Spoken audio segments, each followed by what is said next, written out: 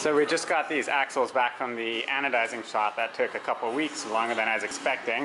Um, but the end result, as you can see here, um, this will slide on like so, and now this tube here, right now it's just sort of a press fit over the axle itself, so we're gonna need to drill and pin that in so that all the torque here is transmitted to this sleeve tube, and then we're gonna drill and tap uh, probably three or four bolts that are gonna anchor that sleeve to the trike frame here.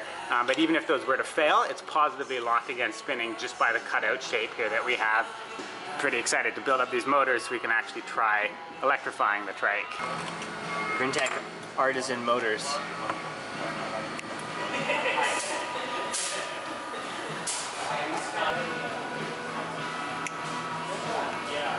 So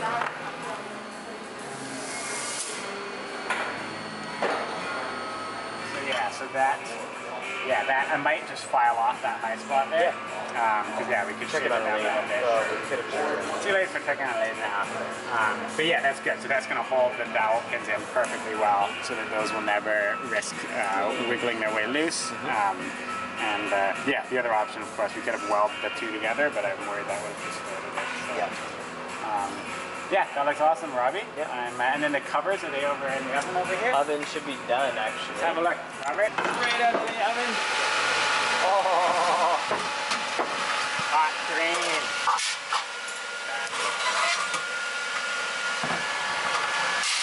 Robert, or Arthur, thanks for having that green paint. Let's, let's have a look actually at how this is going to look over on the trike here. Uh, it's like a pretty good paint match, eh? Not totally perfect, but I think separated by the plastic black uh, cover plate, you won't really notice the difference. So. Okay, Well, that was a bit of a bust. So I thought I would save some time by preemptively painting the ring of the motor green before doing the whole motor assembly so to get a nice clean edge on it.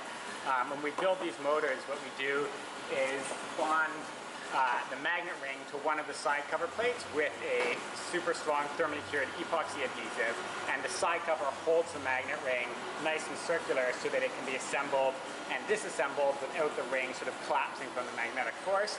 Um, so I went ahead and after painting these things green, did the chemical, the epoxy bonding to the side cover plate and uh, expecting me to, to be able to assemble these motors fairly easily uh, during our normal Grin motor manufacturing process. Um, but the moment that they snap together, the impact forces literally pulled the side cover right off the ring, and that's because the epoxy and the paint effectively fused together into a non-cured mushy mess. And you can see here that uh, that in the process of removing this, when it pulled itself off, it just stripped the paint right off the side of the ring. So I had to spend quite a bit of time just cleaning out the gunky mix of epoxy and paint that filled up that groove in here. I'm now going to have to sand and acetone clean this to expose that right down to bare metal and then reattempt to do the, the bonding of this ring so that I can assemble the motor. Um, but here you can see it with the completed customized axle. So the extension's now permanently affixed to the motor axle. There's three dowel pins uh, that are retained by this aluminum sleeve.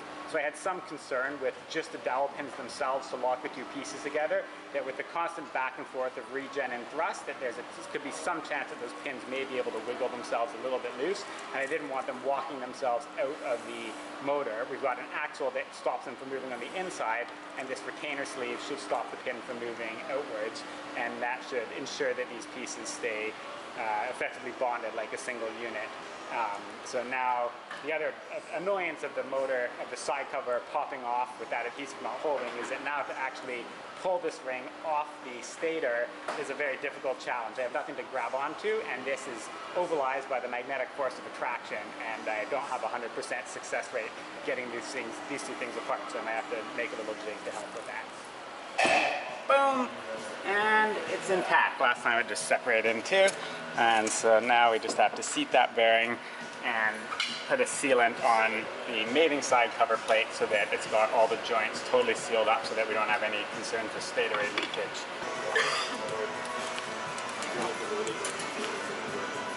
No! Died on the last screw.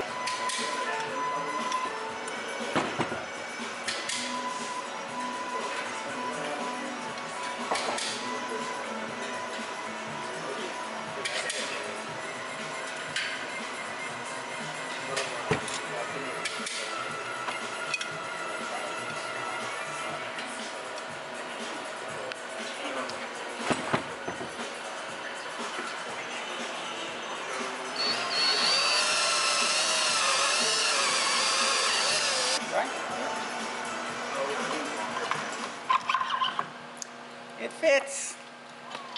Yoo-hoo.